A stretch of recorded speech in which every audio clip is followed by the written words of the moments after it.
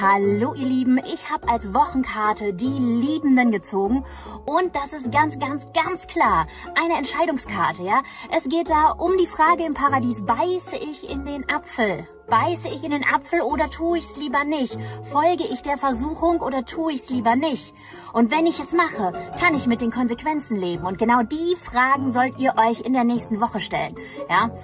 Wenn wir das mal ranzoomen, das klassische Bild, ich blende das einfach mal hier ein, dann seht ihr ganz klar an der Körperhaltung der beiden, dass sie innehalten, so mit den Händen. Ja, man sieht es ganz, ganz klar, dass sie innehalten und auch der Blick ist so, hm, was mache ich? Die überlegen. Man sieht definitiv wieder die Rauchwolkensteigung, wie die am Überlegen sind, so kurz bevor sie handeln, nachdenken.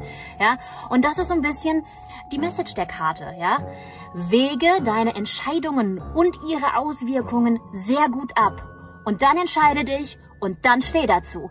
Also das Thema bewusste, bewusste willentliche Entscheidung. Ja, das ist das Thema für die nächste Woche. Ich wünsche euch viel Erfolg.